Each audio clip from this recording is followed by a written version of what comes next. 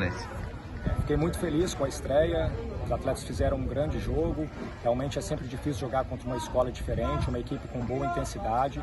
Mas nós colocamos o nosso ritmo, é, propomos o jogo, conseguimos vencer e vencer com um placar elástico.